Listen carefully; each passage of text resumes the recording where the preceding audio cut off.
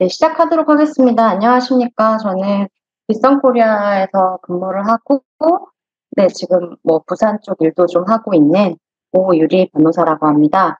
어, 오늘은 가상자산 증권성에 대해서 여러분이 되게 많이 들어보셨을 텐데, 어, 제가 연구소에 있으면서 나름 공을 좀 많이 들여서 분석했던 내용을 여러분들한테 공유를 하고, 이거를 좀 아시면 나름 시장의 전문가로서 다양한 증권성 소송에 대한 어떤 insight를 가지게 되실 수 있을 것 같아서 조금 더 딥하게 인덱스하게 들어가 보도록 하겠습니다. 여러분 뭐 당연히 아시겠지만 원래 그 가상자산이 증권이랑 비슷한 거 아니냐. 증권이랑 비슷하면 당연히 증권과 관련된 법의 규제를 받아야 되는 것이 아니냐라는 게 이제 전 세계적인 어떤 그런 규제 당국의 이야기입니다. 그래서 SEC가 되게 열심히 소송을 하고 있고요. 그래서 저희가 가장 잘 알고 있는 리플 소송도 이 소송의 승패에 따라서 굉장히 가격이 많이 변동되는 것을 보였는데요.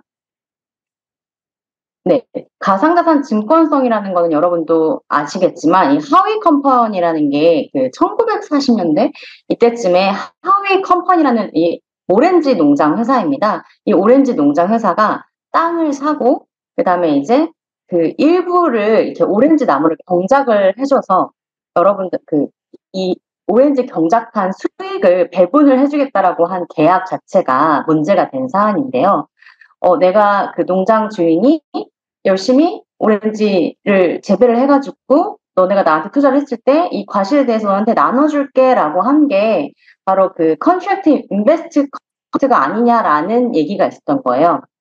그러면 과연 그 여러분이 잘 알고 계시는 Howey 테스트가 뭐길래 그래서 여기에서 대법원 판례가 나와가지고 이제 이 Howey 테스트가 지금까지 미국은 판례법이거든요. 우리나라는 성문법이고 성문법 같은 경우는 법조문에 이렇게 있으면은 그거 요건을 하는 건데 미국 같은 경우는 케이스가 차곡차곡 쌓여서 케이스별로 이제 쭉 이 판례에 따라서 어떤 기준이 정립되는데 이 판례가 바로 Howey 테스트라고 여러분들이 많이 알고 계시는 그 테스트입니다. 뭐 있어야 되고 그다음에 공동의 사업, common enterprise가 있어야 되고 타인의 노력, 그다음에 수익이 창출될 것이라는 합리적 기대가 있으면 이거는 투자 계약이다라는 거예요. 그래서 뭐 여러분이 저한테도 투자를 할 수 있잖아요. 제가 투자를 하는데 제가 열심히 해가지고 이거 가격이 오르거나 이익이 될 거예요. 여러분 저한테 투자하세요. 그리고 나눠드릴게요. 그러면 이게 인베스트먼트 컨트랙트니까 이거 너네 이잖아. 증권이면 증권에 관련된 법을 따라라고 하는 게 이 하위 테스트였던 것입니다. 너무 이해가 잘 되시죠? 근데 이제 어, SEC가 굉장히 이제 가상자산이 이 세상에 나오고 나서 2017년 이후로 엄청난 공방을 하기 시작합니다. 그런데 이제 이, 이것을 이해하기 위해서는 SEC가 어떤 식으로 사법 절차를 진행하는지 좀 알 수가 있는데요. 우선은 뭐 Wells notice라고 해가지고 조사를 해요. 그러니까 레이더망에 걸리면 조사를 하고 그 다음에 이제 이런 프로세스를 거쳐서 어 너네가 좀 문제가 있다라고 생각을 하면 이제 불러서 얘기를 하는 거죠. 불러서 얘기를 하고 합의가 된다. 합의가 되면은 이제 어떠한 간략한 명령으로 끝납니다. 하지만 어 나는 이거 어떤 재단들은 어 난 잘 모르겠는데라고 하면은 소송으로 가는 거예요. 그래서 이제 리플 같은 경우는 소송으로 간 거고 여러 재단들은 SEC의 그 힘에 어, 굴복하기도 하고 뭐 사업의 영, 영속성을 위해서 그냥 합의 명령으로 끝난 경우도 있습니다. 근데 이제 저희가 연구소 일을 할 때 열, 어, 총그 24건을 한번 분석을 해봤어요. 과연 도대체 뭐 때문에 걸까? 어떤 개별적 사실관계가 있고 실제로 어떻게 되지 라는 거를 해봤는데 그 정지 명령 같은 경우는 제가 아까 말씀드린 대로 저희가 24건 봤는데 10건 같은 경우는 그냥 합의 하에 정지 명령 받고 끝났어요. 이제 윤 토큰이라고 여러분 아실 수도 있겠지만 이게 최초의 그 정지 명령이거든요. 근데 이제 식당 리뷰 어플리케이션이 있었고 이제 이거 리뷰 작성하면 토큰 줄게라고 했던 거예요. 근데 이제 이거 자체가 또 SEC 레이더망에 걸려서 야 이거 미등록 증권이야. 너네 미등록 증권을 당연히 판매하려면은 너네 왜 우리한테 뭐야 신고 안 했어? 그리고 나서 팔았네라고 해서 얘네가 이제 그 뭐야 정지 명령을 내리려고 한 거죠. 근데 결국에는 얘네가 하는 말이 너네 그 토큰 백서에 자금을 모집을 할 때 어떤 식으로 했냐면은 그 앞, 앞에 설명한 것처럼 아, 우리가 이 자금이 사업을 하는데 활용할 거고 나중에 상장돼서 거래될 거야. 그리고 이 모금이 당연히 회사 운영에 사용이 될 거야. 라고 하면서 홍보를 했다. 그리고 실제로 공동 창업자에 포함한 경영진의 일액을 내세우면서 이제 뭐 홍보를 했다. 이런 식으로 해서 자금 조달을 한 거 아니냐. 그럼 너네 이거 증권법 위반이다. 그래서 이제 미등록 증권 판매 행위 이런 것들로 해서 얘네가 걸렸습니다. 그래서 결국에는 얘네가 정지 명령을 받게 됩니다. 근 저희 세건 정도 이렇게 얘네가 민토큰, 비플라이브 뭐 이런 것들이 지금 다 보시면은 결국에는 다 이런 식의 이유들로 다 이제 정지 명령을 받았는데요. 대부분 보시, 보시, 보이실지 모르겠지만 투자금을 모집하는 네, 과정에서 이 투자금을 투자자들한테 어떤 기대를 줬고 우리가 열심히 해서 이익을 낼 거야라고 했고 그런 것들 실제로 운영에 쓰이고 이런 식으로 해서 현재 노력에 따라 수익이 상출될 것이라고 기대했다라고 해가지고 이렇게 10건의 인지 명령이 일어나게 됩니다. 사실 이렇게 보면은 어, 우리가 봤을 때는 어, 웬만한 거 다 걸릴 것 같은데 라는 이제 좀 생각이 저도 좀 많이 들긴 하더라고요. 그래서 이제 2017년부터 시작된 것들이 뭐 블룸까지 해가지고 이렇게 지금 다 종료돼 있고요. 명령으로 인해서 이런 것들을 ICU 중단, 상장 폐지하기로 거의 이런 거 하게 됩니다. 그래서 이제 합의고 너네 투자금 환불에 벌금 내고 더 이상 이걸 발행하지 마 이런 식으로 어떤 페널티를 받게 네. 근데 이제 제가 아까 말씀드렸듯이 어, 정지 명령에서 어떤 SEC와 같이 합의를 못한 친구들은 소송 절차에 도입이 된다고 했잖아요. 그래서 그런 친구들은 소송 절차를 지난한 소송 절차를 이제 밟게 됩니다. 근데 이제 여기 보면은 이제 14건 정도 되는데 틴, 뭐 조필, XRP 이런 것들이 쭉 있는데 거의 다 사실 SC의 승소로 끝나게 됐습니다. SC 여기에 XRP는 사실 뭐 항소 정말 완벽하게 종결됐다고 볼 수 있나 해서 제가 그냥 진행 중으로 해놨는데요. 어, 그 종결된 다섯 가지 케이스를 이제 하나씩 분석을 해보면, 그 아까 제가 말씀드렸듯이 똑같은 이유로 다들 이제 청구 뭐였지 다 기소를 받게 돼요. 하위 테스트에 다 여기가 등록이 된다라고 해서 뭐 그 아까 말씀드린 증권법 OA, OC 이런 게 결국에는 증권을 미등록한 사람들 그리고 그걸 판매한 그것을 너네가 위반했으니까 결국에는 너네는 벌을 받아야 된다라고 해서 벌금형 혹은 상장 이제 이과 관련돼서 이런 식으로 하게 되고요. 근데 이제 좀 재밌다고 제가 생각을 했던 게 앞에 보면은 단순히 OA, OC로만 적용된 이런 토큰들 있잖아요. 이런 애들은 벌금형이랑 대부분 상장 유지를 하게 되는 좀 그런 결과를 갖게 돼요. 그 나름 좀 작은 페널티를 갖게 된 거죠. 앞서 봤을 때는 정지 명령에서 뭐 소위 처음에 SEC에 굴복해가지고 합의를 해가지고 자기네가 이제 상장을 자연스럽게 폐지한 애들 말고 소송으로 끝까지 가가지고 이제 OA, OC로 기소를 당한 애들은 대부분 벌금형을 받게 되고요.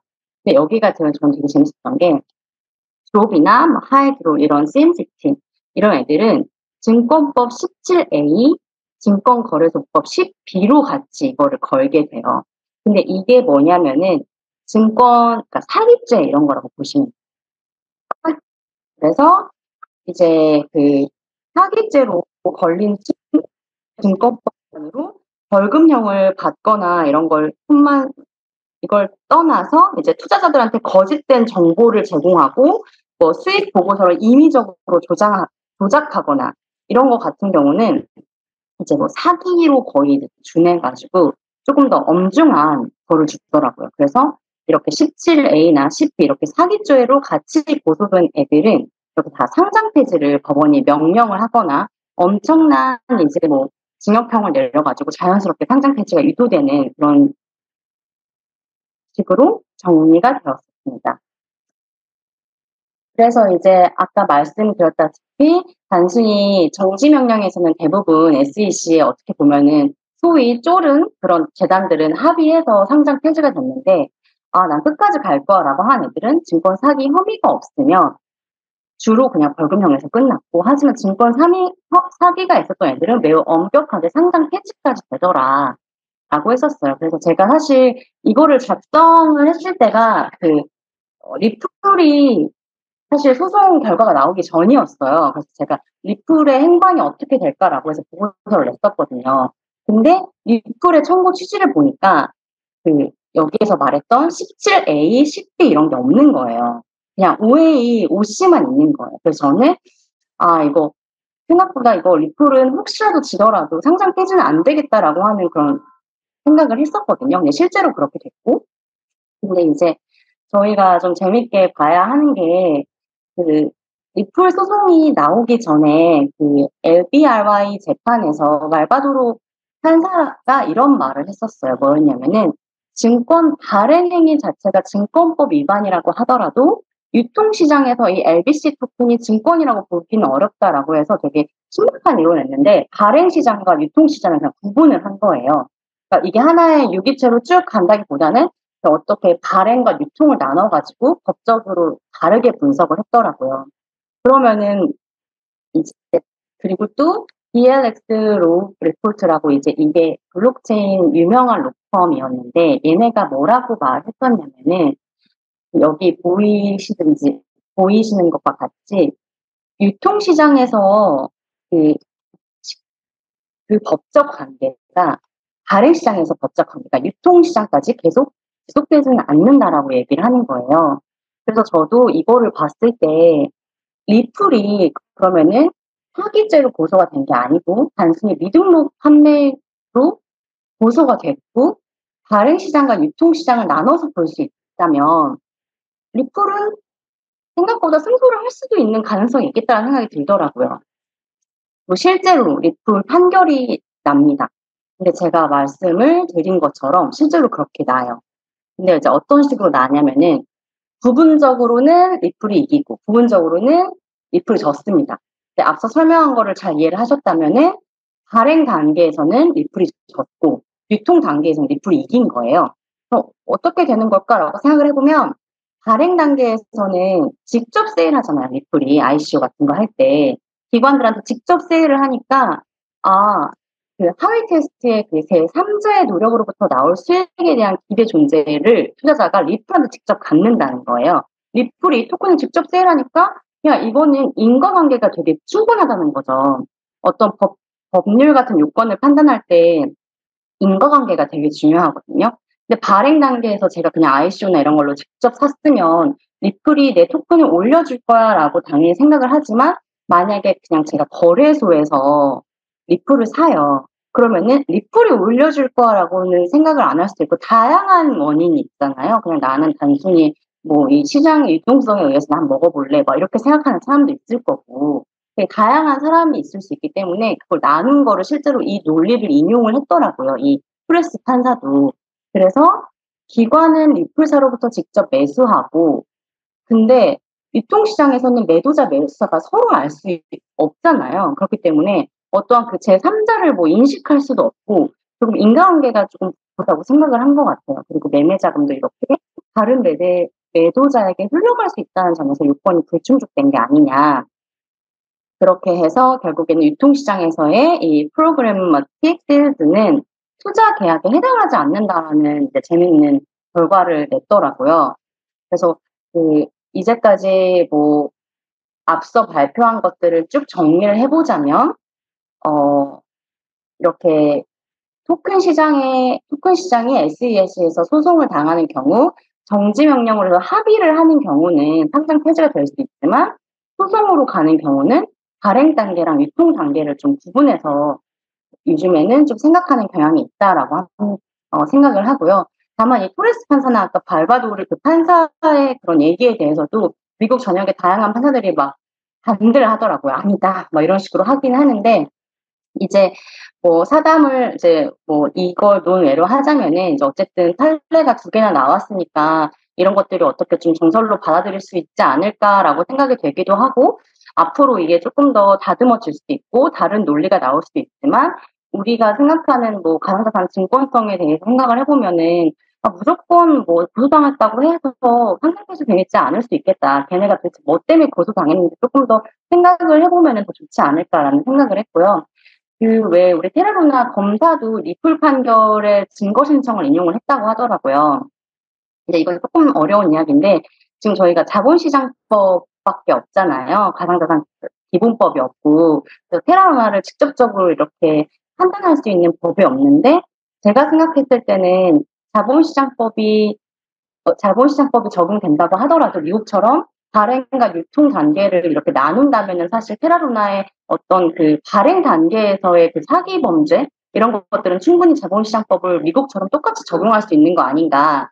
미국은 유통은 아니라고 했지만 뭐 리플의 판결에 따르면 발행 단계에서는 증권법 인, 뭐 어긴 거 인정되니까 우리도 똑같이 테라루나의 발행 에서의 그런 사기 혐의 이런 것들은 자본시장법을 적용할 수 있지 않을까라고 저는 한번 생각을 해봤습니다. 네, 제 발표는 여기까지요. 너무 빨리 끝났나요? 여기까지 마치겠습니다.